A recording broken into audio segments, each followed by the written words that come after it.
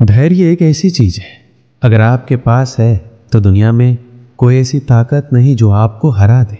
अक्सर लोग धैर्य ना रखने की वजह से हार जाते अगर आप सोचते हैं कि हार मान लेने से आप जीवन में आने वाली परेशानियों से बच जाएँगे तो ऐसा कभी नहीं हो सकता, क्योंकि परेशानी जीत का दूसरा पहलू है और इससे बचा नहीं जा सकता, बल्कि इसका सामना करके जीत हासिल किया जा सकता है। सच्चाई और ईमानदारी से जीती गई लड़ाई हमेशा सुकून देती है, जबकि धोखे से जीती गई लड़ाई हमेशा दुख और हताशा का कारण होता है। अगर आप असली खुशी की तलाश कर रहे हैं तो आप लोगों को सफल बनाने में उनकी मदद कीजिए। आप कभी भी किसी को धोखा देकर आगे बढ़ने में अपनी बहादुरी मत दिखाइए, बल्कि लोगों को सफल बनाकर बहादुर बनिए। अगर आप जीवन में हारने के बाद एक नई शुरुआत करना चाहते हैं तो आपको अपनी अंदरूनी ताकत को जगाना होगा और खुद में विश्वास रखते हुए आगे बढ़ना होगा। सफलता हमेशा लोगों के काम करने की क्षमता में छुपी होती है, इसलिए आपको अपनी काम पूरी क्षमता के साथ करना चाहिए, ताकि आप जीवन में सफलता हासिल कर सके। डर के साथ सफल होना मुश्किल नहीं, नामुमकिन है, क्योंकि डर हमेशा आपको अपनी क्षमता के अनुसार काम करने से रोकता है। इसलिए आप खुद को डर से दूर रखें और जीवन में सफल बने। श्री कृष्ण कहते हैं, जब कोई आपकी प्रशंसा करे तो आप खुश होने के साथ साथ और बेहतर प्रदर्शन करने के लिए तैयार रहना। वरना जो आज प्रशंसा कर रहे हैं, वो कल आपकी बुराई करने के लिए तैयार रहेंगे। जो हार जाते हैं, वो हमेशा एक के बाद दूसरा नया काम करने के लिए तैयार होते। शायद वो ये नहीं जानते कि बार बार नया काम शुरू करने से लोग सफल नहीं होते। बल्कि हर काम को अलग ढंग से करके सफल होते।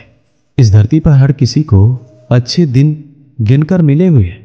इसलिए आप अपने मिले हुए अच्छे दिन को जीवन में सफल होने के लिए खर्च करें, ना कि दुखी और निराश होने में।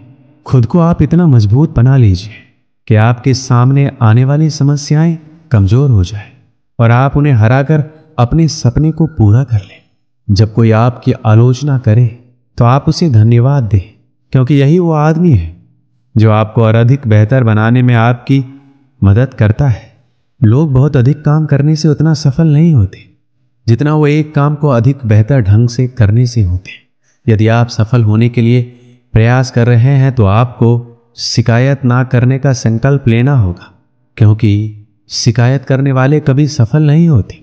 यदि आप किसी लक्ष्य को पाने के लिए आगे बढ़ रहे हैं तो लोग आपसे बार बार कह रहे हैं, आपसे ये नहीं होगा। और आपको इससे कोई फ़र्क नहीं पड़ने वाला, जब तक आप खुद से ना बोलें कि आपसे ये नहीं होगा। यदि आप जीवन में एक बड़ी सफलता हासिल करना चाहते हैं तो आपको हमेशा इस बात पर विश्वास बनाए रखना होगा कि आपको तब तक कोई नहीं हरा सकता। जब तक आप खुद नहीं हारना चाहेंगे, हारे हुए आदमी को दया और करुणा की आवश्यकता नहीं होती, बल्कि उसे अच्छे सलाह की आवश्यकता होती है, क्योंकि आप कभी भी हारे हुए आदमी के लिए दया और करुणा की भावना ना रखें। उसे अच्छा सलाह दें। अगर आपका वक्त खराब चल रहा है तो आपको दुखी और निराश होने के बजाय इस बात पर ध्यान देना चाहिए कि आपका वक्त अच्छा कैसे होगा और आपको इसके लिए क्या क्या करना होगा। तन का हारा आदमी आज नहीं तो कल जीत जाएगा, पर मन का हारा आदमी कभी नहीं जीत सकता। इसलिए अपने मन को इतना मज़बूत बनाइए कि लाख मुसीबतों के बाद भी डटकर खड़ा रह सके। श्री कृष्ण कहते हैं दूसरों को समझने की कोशिश करेंगे तो आप कभी भी नहीं समझ पाएँगे। यदि खुद को समझने की कोशिश करते हैं तो आप खुद को और दूसरों को भी आसानी से समझ सकते हैं। इसलिए दूसरों को समझने से अच्छा है, खुद को समझा जाए। गरीब उसे नहीं कहते, जिसके पास पैसा नहीं होता। गरीब तो उसे कहते हैं, जिसके पास अच्छे विचार और व्यवहार नहीं होते।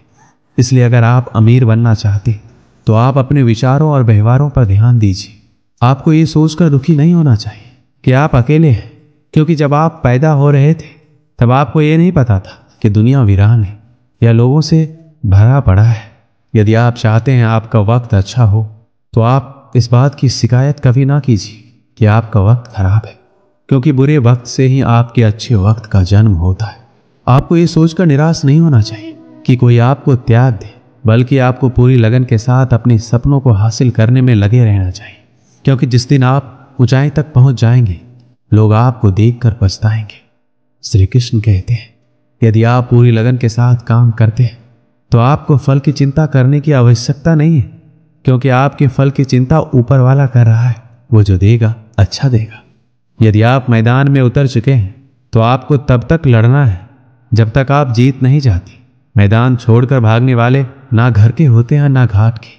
इसलिए आप हिम्मत बनाए रखिए। और जीतने के लिए लड़ते रहें, जब तक आप जीत ना जाए। सिर्फ़ एक हार से आपकी किस्मत तय नहीं होती, बल्कि कई बार हारने के बाद भी किस्मत बदलती मतलब आपको जीत मिलती है, इसलिए हर हार के बाद एक पूरे जोश के साथ आगे बढ़िए। अगर आप में सुनने की कला है तो आप में बोलने की कला भी है, क्योंकि जो ध्यान से सुनता है, वही ध्यान से बोलता है।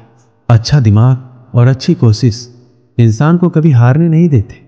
इसलिए आप अपने दिमाग को जितना हो सके उतना अच्छा करें और हर काम में अपना सौ प्रतिशत दें। श्री कृष्ण कहते हैं, यदि आपका मन अंदर से मज़बूत हो तो ये तय है, आप ना कभी झुकेंगे और ना कभी टूटेंगे। बस आगे और आगे बढ़ेंगे। अगर आप किसी चीज़ के लिए दिल से दुआ करते हैं तो वह चीज़ आपको तब मिलती है, जब आप उसको संभालने के काबिल हो जाते जैसे सफलता, आप अंदर से जितना शांत होंगे, आपके विचारों में उतनी ही गहराई होगी। और आपका जीवन उतना ही अधिक समृद्ध होगा। इसलिए आप हमेशा अंदर से शांत रहें और जीवन का आनंद लें। सपनों को पूरा ना कर पाने की किसी और को दोषी नहीं ठहराना चाहिए, क्योंकि जब सपने आपके तो उसे हासिल करने के लिए प्रयास भी आपको ही करना पड़ेगा। जब आपका मन ये कहने लगे कि आप सब कुछ छोड़ दें तो आपको सावधान हो जाना चाहिए, क्योंकि आपका मन कमज़ोर हो रहा है। इसलिए मजबूती बनाए रखिए और अपने काम पर पूरा ध्यान केंद्रित कीजिए। श्री कृष्ण कहते हैं, आदमी एक लक्ष्यों की मांग करने वाला प्राणी है। उसकी ज़िंदगी का तभी अर्थ है जब वो अपने लक्ष्यों के लिए प्रयास करता है, उन्हें प्राप्त करता है। एक नौजवान व्यक्ति को आगे बढ़ने के लिए उसे हर संभव तरीके से अपना विकास करना चाहिए। ऐसा कभी भी संदेह नहीं करना चाहिए कि कोई उसके रास्ते में रुकावट हो सकता है। जीवन में अपनी वर्तमान स्थिति के बारे में शिकायत करना बेकार है। उसके बजाय इससे ऊपर उठने के लिए कुछ कीजिए। अमीर और गरीब में ये एकमात्र अंतर है, और वो अंतर ये है कि आप अपने समय का इस्तेमाल कैसे करते हैं। पैसे के लिए काम करके कोई भी कभी अमीर नहीं बन सकता। पैसा आपके लिए काम करे ऐसा हुनर सीखना होगा। सबसे बड़ी गर्व की बात कभी ना गिरने में नहीं है, बल्कि हर बार गिरकर उठने में है। एक समय की बात है, एक दयालु व्यापारी सुबह सुबह पार्क में टहल रहा था। अचानक उसकी नज़र एक ऐसे आदमी पर पड़ी, जो फटेहाल परेशान और निराश था। उसे देखकर वह दयालु व्यापारी को दया आ गई। वह उसके करीब गया और उससे उसकी परेशानी का कारण पूछा। तो उसने रोते हुए कहा, मैं अब जीना नहीं चाहता अब मैं मर जाना चाहता हूँ। उस दयालु व्यापारी ने दोबारा पूछा, आखिर तुम मरना क्यों चाहते हो? ऐसा क्या हो गया कि तुम जीना नहीं चाहते? उस परेशान आदमी ने जवाब दिया, मेरा सब कुछ बर्बाद हो गया मेरा व्यापार, मेरी जमा पूंजी और यही नहीं, मेरे सर पर बहुत ही ज़्यादा कर्ज हो गया मुझे समझ में नहीं आ रहा है कि मैं क्या करूँ। सारे रास्ते बंद हो गए अब मेरा मर जाना ही अच्छा होगा। उस दयालु व्यापारी ने मन ही मन सोचा यह आदमी तो अंदर से पूरी तरह से टूट गया है।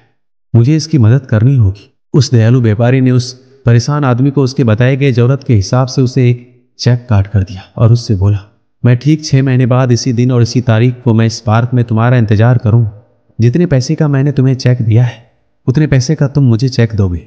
उस परेशान आदमी ने कहा, मैं आपका उपकार कभी नहीं भूलूँगा। मैं ठीक छह महीने के बाद इसी दिन, इसी तारीख, इसी जगह पर चेक के साथ मिलूँगा। दयालु, व्यापारी और परेशान आदमी दोनों अपनी अपनी मंजिल की ओर चल दिए।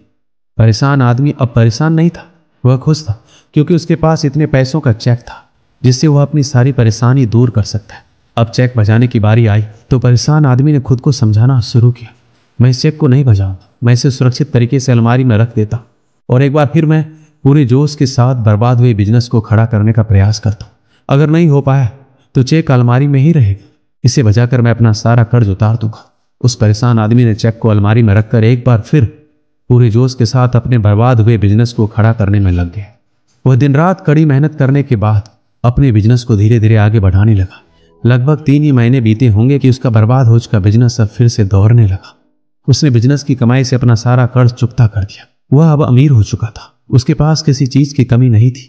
उसे अलमारी में रखे चेक को भजाने की ज़रूरत ही नहीं पड़ी। जब चेक लौटाने का समय आया तो वह दयालु व्यापारी को चेक लौटाने निकल पड़ा। जो उसका पार्क में इंतज़ार उस दयालु व्यापारी ने उस परेशान आदमी को सूट में देखकर पहचान नहीं पाया जब वह परेशान आदमी उस दयालु व्यापारी के पास आया तो उसे अच्छे से पहचान लिया। परेशान आदमी अब अमीर हो चुका था। उसने उस दयालु व्यापारी को चेक लौटाते हुए कहा, मुझे इसकी ज़रूरत नहीं पड़ी। तब दयालु व्यापारी ने कहा, वैसे ये चेक किसी काम का नहीं है, ये एक नकली चेक है। मैंने इसे तुम्हें सिर्फ़ दो पल की और ज़िंदगी मिल जाए इसलिए दिया था। जब यह बात उस परेशान आदमी ने सुना जो अब अमीर हो चुका था तो उसके पैरों तले ज़मीन खिसक गई। वो ये सोचकर हैरान था कि अगर वो खुद पर विश्वास करके पूरे जोश के साथ प्रयास ना किया होता तो उसका क्या होता? सोचो, खुद पर विश्वास और लगातार प्रयास से बर्बाद हुए जीवन को भी एक बार फिर से सफल बनाया जा सकता है। दोस्तों, इस वीडियो में बस इतना ही। मिलते हैं अगली वीडियो में। अपना ख्याल रखिएगा। जय श्री कृष्ण।